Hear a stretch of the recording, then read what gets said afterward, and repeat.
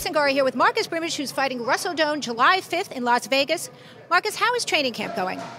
Training camp is pure hell. Uh, I got way on my food, like four ounces. I'm not eating. It sucks. you have a big weight cut, so it's been tough for you this time around. Yes, that's uh, true. I'm dropping to a 135 so I can have more of a reach advantage and the height. Uh, you know, people are my height at 135, so I think it'll be a smart move for me. Speaking of a reach advantage, you have a two-inch reach advantage over Doane. Will you look to keep the fight standing up then? Uh, truth be told, wherever the fight goes, that's where it goes. I'm not planning to do anything but win the fight. How do you think you match up stylistically with him then? it'll be a great fight. Uh, Russell Doane is a uh, Hawaiian, and you know the Hawaiian guys are bangers, man. They come, they come to bang. His wrestling looks pretty good, and to be able to tap out a black belt and at your UFC debut is pretty amazing. Okay, now we have a few questions from Twitter because you have so many fans on Twitter. This question is from Kane Miller Films. Do you plan on going full Super Saiyan in this fight?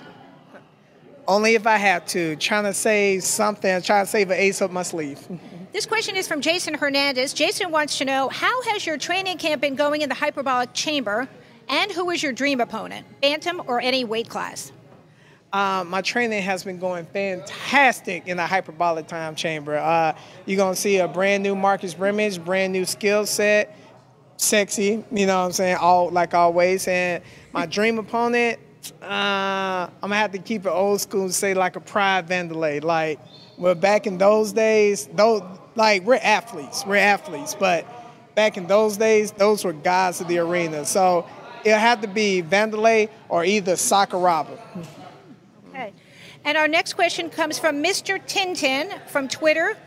What do you believe is the most dangerous aspect of Russell's game? Um, truth be told, he's pretty dangerous everywhere. I mean, he has a nasty overhand right. He has pretty good takedowns, and he tapped out black belt at his UFC debut. I mean, that's that's all three. Uh, I'm in I'm in a good fight. This is going to be a great fight for me. Great comeback fight. Russell Doane is a dangerous opponent that has nothing but my respect, and I just can't wait to get it on. Anything else you'd like to add? Uh, I would like to thank all my family, friends for helping me get through a terrible year.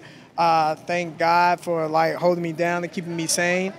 Uh, my strength and conditioning coach, uh, Tommy Elliott, he's been helping me get my sexy on for 135 uh, Chris Conley, Spartan Fitness, my home team back in Alabama, American Top Team, and um, just everybody. Thank y'all so much, and I'm a promise I'm gonna come back hard as hell. UFC 175. Well, you heard it here first. That's Marcus Brimage getting his sexy on. Thanks a lot, Marcus Brimage, for your time. I look forward to seeing you fight. Look at, look at those abs at, at UFC in July.